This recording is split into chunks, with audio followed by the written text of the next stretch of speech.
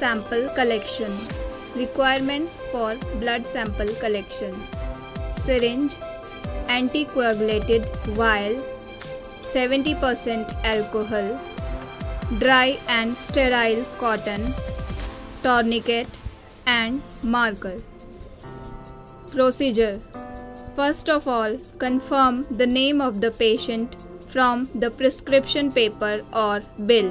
Wash the hands prior the sample collection and wear gloves. Label the anticoagulated tube according to the test. Mention the name, age of the patient and date. Tie the tourniquet 3 fingers above from the elbow joint.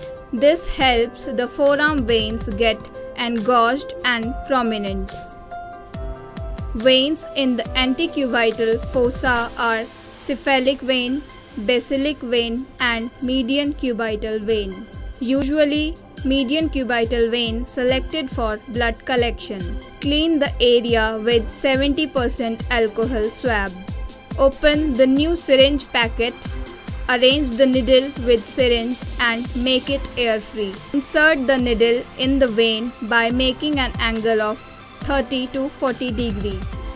Blood sample drawn as per requirement. While withdrawing needle, the prick point pressed gently with swab to prevent blood oozing. Tourniquet to be removed immediately to regain venous flow. Dispense the blood in the sample tubes as required. Mix the blood in the vial by inverting it 8 to 10 times. Apply a strip dressing at the puncture site.